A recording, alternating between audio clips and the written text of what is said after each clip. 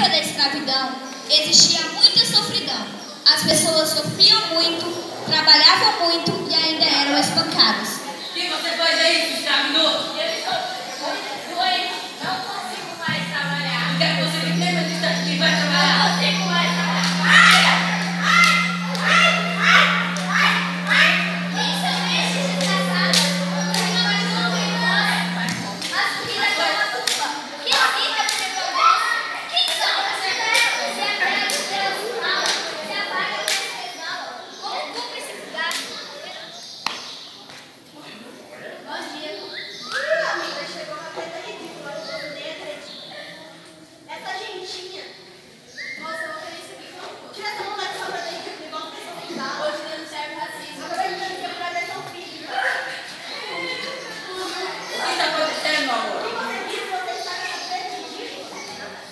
Obrigada. É.